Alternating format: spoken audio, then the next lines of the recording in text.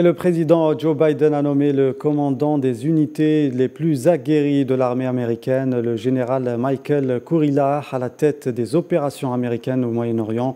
Annoncé vendredi le Pentagone, une nomination qui doit être confirmée par le Sénat.